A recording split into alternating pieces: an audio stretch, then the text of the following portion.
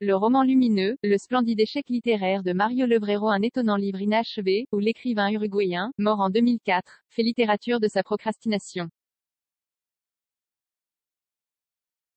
Relativement méconnu de son vivant, devenu culte en Amérique latine et en Espagne après sa mort brutale en 2004, l'écrivain uruguayen Mario Levrero, né en 1940, avait tout d'un personnage de Samuel Beckett.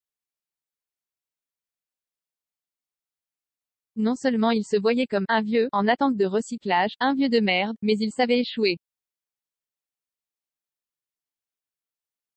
Admirablement. Tant et si bien qu'il aurait pu faire sienne la célèbre phrase de la nouvelle, Cap au pire, de Beckett, 1982. Déjà essayé.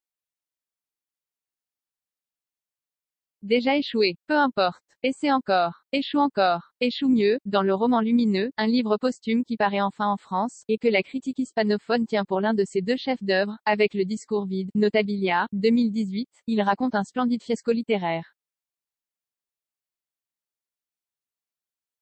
En 2000, la fondation John Simon Guggenheim, créée aux États-Unis, lui accorde une bourse, richement dotée, pour qu'il reprenne et achève un manuscrit abandonné depuis 16 ans, un roman, intitulé justement Le roman lumineux, dans lequel il détaille de mystérieuses expériences de télépathie, des faits lumineux, qui lui sont arrivés.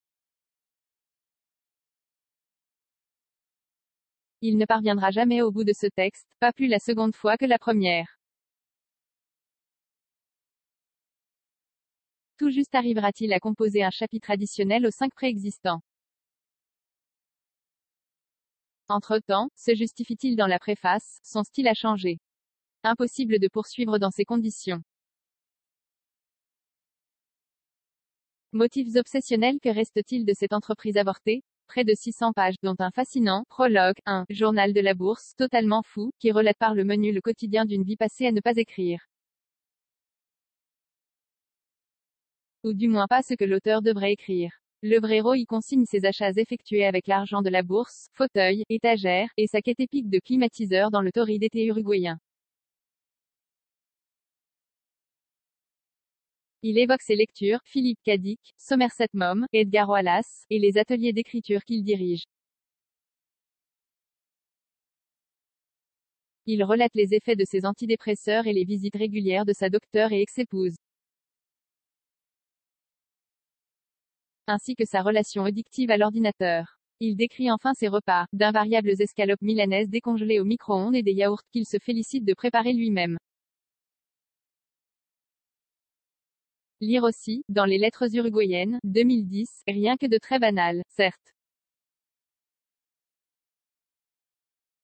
Mais ce récit d'une vie, passée en grande partie à l'intérieur de son appartement et ponctué de motifs obsessionnels, se coucher à l'aube, ne pas se raser, se révèle hypnotisant.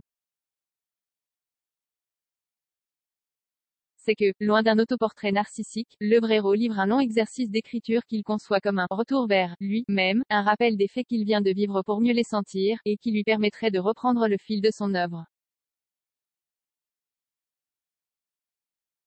Comme dans le discours vide, où il cherchait son moi profond en s'adonnant à des séances de calligraphie, le romancier creuse différentes strates intimes, en quête d'une vérité intrinsèque, persuadé, comme Kafka, son frère aîné, quel est le seul but de la littérature?